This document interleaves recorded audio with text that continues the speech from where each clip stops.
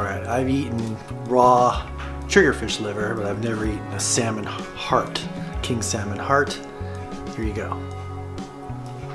Mmm. Oh man, that's good.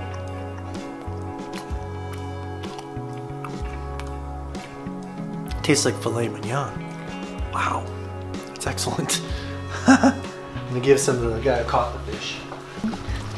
Salmon heart. Mm.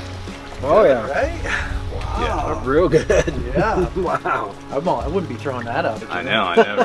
This is the best part, man. Yeah.